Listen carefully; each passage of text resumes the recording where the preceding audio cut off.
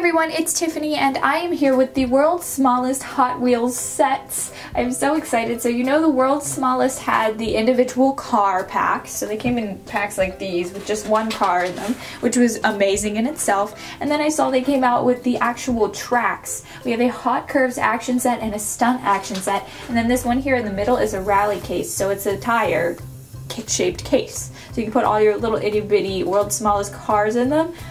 I can't handle how cute this is right now. it's so cool. So this set right here comes with one car, five joiners, one jump, one clamp, two curve tracks, four straight tracks, and an instruction sheet.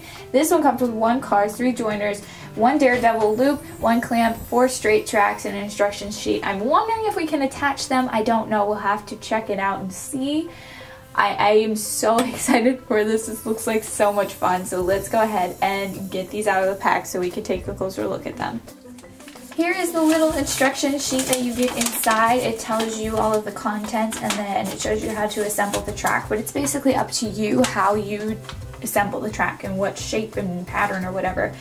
Now we do get a clamp in each pack, well in the track sets anyway. And you are supposed to do this. You're supposed to attach your track to your table so it makes it sturdy. Or you can use it to kind of like um, prop your track up in the air. I haven't done that with this just simply because I kind of want to just keep it simple. Now, I, well, I did attach it on one side to the table just so it stays and plays a little bit. It's not attached right here, but it is attached on the other end. So here's just some of the other ones you can collect. Well, not the other ones because we have both of these here, but there's also a drag race set, which I'm pretty excited for. Definitely want to get that when I see it. So we do have little itty bitty cars, you guys, and they do have itty bitty wheels that work, which is so great. So these are the two cars that we got with our track sets. Amazing. There's one track set back there, and then this is the other one. I have the box here, so it's propped up so it kind of can get some momentum, if you will. So let me go ahead and try this out. This is the first time. It might not go that well because it's kind of not high up. Oh! Oh my gosh, it almost rolled off the table. So that's pretty cool.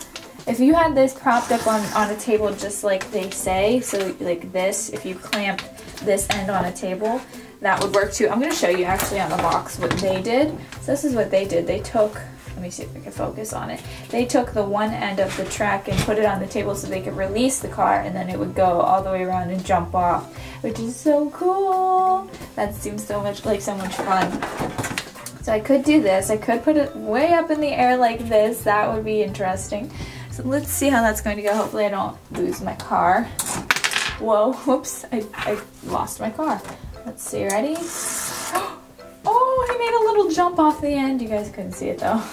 You can see they actually rolled down really fast, which is so cool. Now let me go ahead and grab this loop-de-loop -loop track over here. And I'm gonna try my best here. I'm gonna balance it myself when uh, you know you should attach the other end to a table or something just just keep that in mind. So I'm gonna kind of just leave it like this. Are you guys ready for this? Okay. I'm gonna let go in three two one. Oh that probably wasn't enough. Let me give it some more because we I did put a lot of track on each side so maybe we need to put more track. I think we might need to put more track on. Let me switch this one over to this side really quickly and they do have connectors that just simply slip on. It's not difficult at all. So let me try this again. The higher up, the better, probably. Let me put it all the way up here. It's all the way up to my lights right now. Let's see if this will work. All right, ready? Oh, it did it! Okay, so I recommend three pieces on this side, one piece on this side. Oh my gosh, I want to do it again. Whoops. These little guys are wheelie. They're wheelie. Alright, let's try it again. Oh my gosh, I love this and you can attach this to this track as well and just have a really good time. This, these are so cool. So let me show you this little case that we get in that other pack, the case pack. We did get a car. This is our car. We get this nice, nice little yellow one and it says 12 car rally case by Mattel on the on the back and then you just kind of pop it open right here and then it shows you how you can put your cars in here so we can go ahead and put them in you can put one per thing I don't know why it's, I mean, I guess with some of them you can put uh, two in each. Where'd the other, I lost my other car, here it is. But these bigger ones, I don't see how they would fit both, you know what I mean? So at least one car per thing, and that would make six of them. Unless, can we put them in this way? No, they don't fit that way. So, I mean, these cars, I really think if we had two of the flat ones, they might be able to fit in here, but these bigger ones just simply won't work like that. Something I just noticed as this one was sitting in this case, can you guys tell this one is sparkly kind of? Oh my goodness, it's so cool. I didn't realize that till just now. But these are so cool. I love these little cars. They all do work. They all have working wheels. And then we just go ahead and close this up and we have our little case for our mini cars. This is too cute. Let me know your favorite car in the comments down below. So of these three cars, which one is your absolute favorite? I know it's difficult because they are all tiny and adorable, but I think ultimately I'm going to choose this car.